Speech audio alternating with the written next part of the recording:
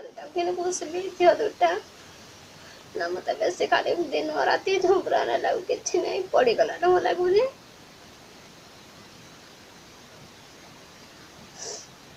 ଦିନ ରାତି ଝୁମ୍ପୁରା ଲାଗୁ ସେ ଜୀବନଟା ଦିନି ମରି ଯାଇଥାଏ ଜୀବନଟା ହିଁ ଲାଗୁଛି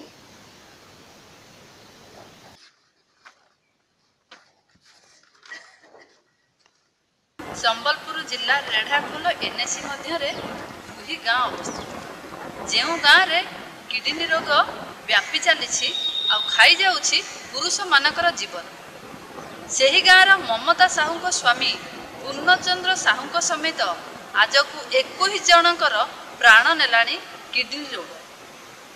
ଏବେ ବି ଗାଁରେ ପାଞ୍ଚ ଜଣ ରୋଗୀ ବିଛଣାରେ ପଡ଼ିଛନ୍ତି।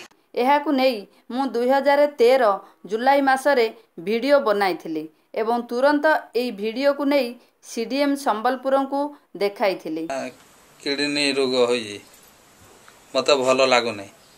କେମିତି ଜାଣିଲେ ଆପଣ କିଡ଼ନୀ ରୋଗ ବୋଲେ ମୁଇଁ ଯେତେବେଳେ ହସ୍ପିଟାଲ ଗଲି ଟ୍ରିଟମେଣ୍ଟ ହେଲି ତାପରେ କଳିଙ୍ଗରେ ସେଠୁ ଡାକ୍ତର ପରାମର୍ଶ କଲାକୁ ମୋର କିଡ଼ନୀ ରୋଗ ବାହାରିଛି ପ୍ରଶାସନ ତୁରନ୍ତ ପଦକ୍ଷେପ ପୂର୍ବକ ଗାଁକୁ ଏକ ପାଞ୍ଚ ଜଣିଆ ସ୍ୱାସ୍ଥ୍ୟ ଟିମ୍ ଆସିଥିଲେ। ଘଟଣାର ତଦନ୍ତ ପାଇଁ ଏବଂ ସାଥେ ସାଥ ବିଭିନ୍ନ କୂପ ନଳକୂପରୁ ପାଣି ପରୀକ୍ଷା ପାଇଁ ନିଆଯାଇଥିଲା। ତତ୍ସହିତ ନେଫ୍ରୋଲୋଜି ବିଭାଗର ଡାକ୍ତର ବିବେକ କର କୁହି ଓ ପୋଡ଼ାବଲଣ୍ଡା ଗ୍ରାମକୁ ଆସି ପୀଡ଼ିତ ରୋଗୀଙ୍କୁ ଆମ୍ବୁଲାନ୍ସ ଯୋଗେ ବୁର୍ଲା ହସ୍ପିଟାଲ ନେଇଥିଲେ ଏବଂ ସେଠାରେ ମାଗଣା ଚିକିତ୍ସା ସହିତ ମୋର ଭିଡ଼ିଓର ପାତ୍ର ତ୍ରିଲୋଚନ ଦେହୁରୀଙ୍କୁ ମାଗଣାରେ ମଧ୍ୟ ଡାଇଲୋସିସ୍ କରାଯାଇଥିଲା।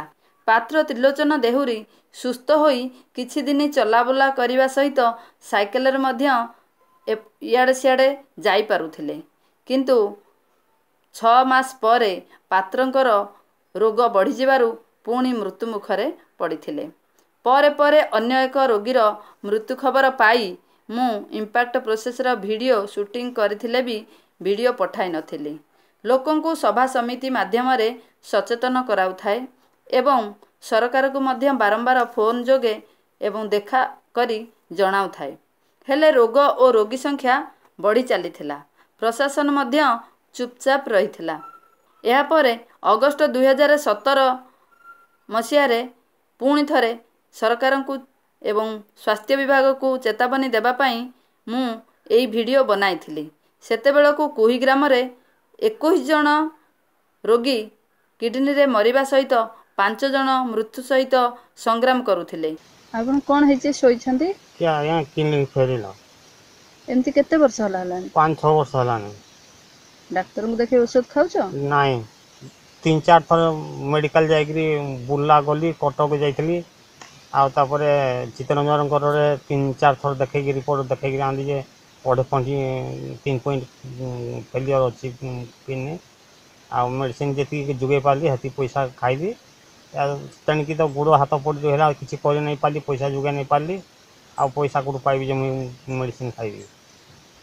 ତମେ ଏମିତି ଏକୁଟିଆ ଅଛ ଏମିତି ଦେହ ଖରାପ ହେଇଛି ଗାଁରେ ନା ଆହୁରି ଅନ୍ୟମାନଙ୍କର ବି ହେଇଛି? ନାଇଁ ସାତ ଆଠ ଜଣ ଏମିତି ଖରାପ ହେଇକି ପୁରା ଡ୍ୟାମେଜ୍ ହେଇଗଲେ ମରିଯାଏ।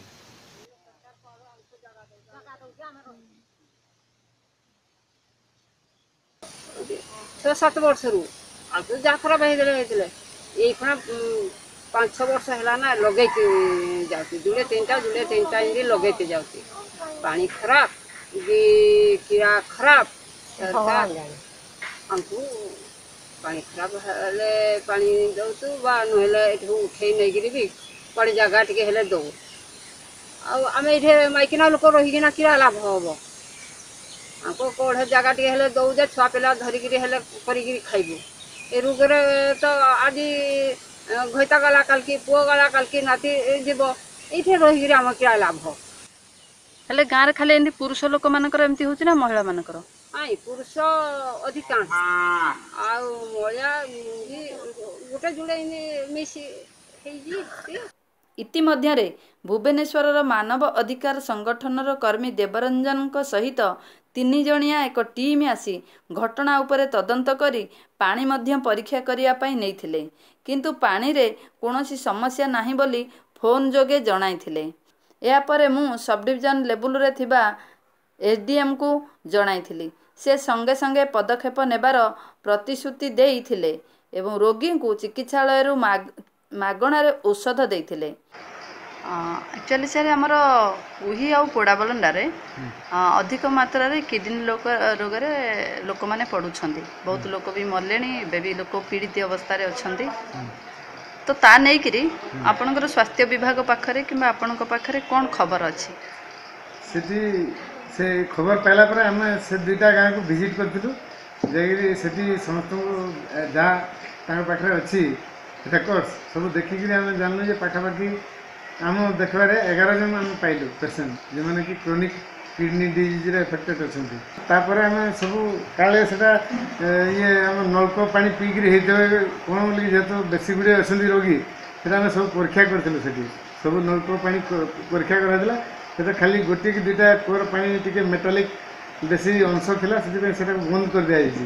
ସେ ଲୋକ ଆଉ ସେ ପାଣି ସେ ନଳକୂପ ବ୍ୟବହାର କରୁନାହାନ୍ତି। ବାକି ଯେତେ ଜଣଙ୍କର ଅଛି ଆମେ ଦେଖିଲୁ ସେଟା ବହୁତ ଗୁଡ଼ିଏ କିଡ଼ନୀ ଡିଜିଜ୍ ସେଟା blood pressure high blood pressure ବହୁତ ଦିନ ହେଇକିରି ହେଇଛି ଆମେ ସବୁ ରେକର୍ଡ଼ ଯାହା ଦେଖିଲୁ ସେଠି ଆଉ ଚାରି ପାଞ୍ଚ ଜଣ ଭିତରେ ତାଙ୍କର ଡେଥ୍ ବି ହେଇଛି ଦୁଇ ବର୍ଷ ଭିତରେ ସାର୍ ବହୁତ ଅଧିକ ହେଇଛି ନା ଚାରି ପାଞ୍ଚଟା ଏଟା ହୁଏ ଏମିତି ରୋଗୀମାନଙ୍କ ପାଇଁ କ'ଣ କରାଯାଇପାରିବ? କେଉଁ ଲେବୁଲ୍ ପର୍ଯ୍ୟନ୍ତ? ଆମେ ସେଠି କେତେ ଜଣ ଏଫେକ୍ଟେଡ୍ ହେଇଛନ୍ତି ତାକୁ ଆସେସ୍ କଲା ପରେ ଆମେ ଯଦି ଅତି ଅଧିକ ପରିମାଣରେ ହେଇଥିବ ତାର ଆମେ ବ୍ୟବସ୍ଥା କରିବୁ ସେ ପେସେଣ୍ଟମାନଙ୍କୁ ପଠେଇକିରି ନେଫ୍ରୋଲୋଜିଷ୍ଟଙ୍କ ପାଖକୁ କରିହେବ। ଆଉ ନେଫ୍ରୋଲୋଜିଷ୍ଟ ଏଠିକି ଆସିବାର ବ୍ୟବସ୍ଥା ନାହିଁ ଏମିତି କିଛି। ତ ଆମର ତ ବୁଲା ପାଇଁ ଅଭାବ ପଡ଼ୁଛନ୍ତି ଏବେ ନେଫ୍ରୋଲୋଜିଷ୍ଟ ଆଉ ସବୁ ଡିଭିଜନ୍ ଲେଭେଲକୁ ଆଣିବାଟା ବହୁତ କଷ୍ଟ। କୁହି ଗ୍ରାମର ମହିଳାମାନେ ଭୟ ଓ ଶୋକାକୁଳ ଅବସ୍ଥାରେ ଅଛନ୍ତି। ସେମାନେ ଚାହୁଁଛନ୍ତି ସରକାର କୁହି ଗ୍ରାମକୁ କିଡ଼ନୀରୁ ମୁକ୍ତ କରିବା ପାଇଁ ରୋଗର ନିଦାନ ଭଲ ଭାବରେ କରି କିଛି ସ୍ୱତନ୍ତ୍ର ପଦକ୍ଷେପ ଗ୍ରହଣ କରନ୍ତୁ। ତେଣୁ ଭିଡ଼ିଓ ଦେଖୁଥିବା ସମସ୍ତ ଦର୍ଶକଙ୍କୁ ମୁଁ ଅନୁରୋଧ କରୁଛି କି ରେଡ଼ାଖୋଲ ଉପଖଣ୍ଡର ଚିକିତ୍ସାଳୟର ଚିକିତ୍ସାଧିକାରୀଙ୍କୁ ଫୋନ୍ କରି କିମ୍ବା ତାଙ୍କୁ ସାକ୍ଷାତ କରି ଦାବି କରନ୍ତୁ କି ତୁରନ୍ତ କୁହି ଗ୍ରାମକୁ କିଡ଼ନୀ ମୁକ୍ତ କରିବା ପାଇଁ ସରକାରଙ୍କ ତରଫରୁ ସ୍ୱତନ୍ତ୍ର ପଦକ୍ଷେପ ନିଆଯାଉ। ରେଢ଼ାଖୋଲ ଉପଖଣ୍ଡ ଚିକିତ୍ସାଳୟର ଚିକିତ୍ସାଧିକାରୀଙ୍କର ନାମ ହେଉଛି ଡକ୍ଟର କୁବେର ମହନ୍ତ ଏବଂ ତାଙ୍କର ଫୋନ୍ ନମ୍ବର ହେଉଛି nine four three double nine eight five six eight nine ମୁଁ ମମତା ପାତ୍ର ସମ୍ବଲପୁର ଓଡ଼ିଶାରୁ ଇଣ୍ଡିଆ ଅନହଟ୍ ପାଇଁ